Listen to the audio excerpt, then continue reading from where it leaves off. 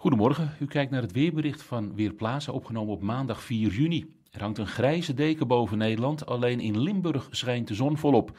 En ook op de Noordzee zien we al die wolken en die komen met de noordelijke wind onze kant op. Met andere woorden, het blijft vrij bewolkt in vrijwel heel het land. Alleen in de middag denk ik dat in het zuiden de zon steeds meer gaat doorbreken. Het wordt dan zo'n 20 graden aan zee en 25 graden in Limburg. De wind waait uit het noorden en is overwegend matig en het blijft wel de hele dag droog. Ook vanavond wolkenvelden, later ook wat opklaringen bij temperaturen die rond zonsondergang zo tussen de 16 en 23 graden liggen. Morgen is er meer ruimte voor de zon. In de ochtend kan het nog wel op veel plaatsen grijs zijn, maar de zon breekt steeds meer door en smiddags wordt het dan zo'n 20 tot 25 graden.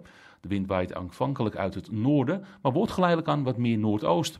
En de dagen erna wordt het weer warmer. Woensdag is een stralende dag met temperaturen tussen de 22 en 27 graden. En ook donderdag en vrijdag kan het zo warm worden. Wel neemt in de loop van de dag de onstabiliteit toe en dat betekent ook de kans op onweersbuien. Mijn naam is Raymond Klaassen voor Weerplaza. Ik wens u nog een fijne dag.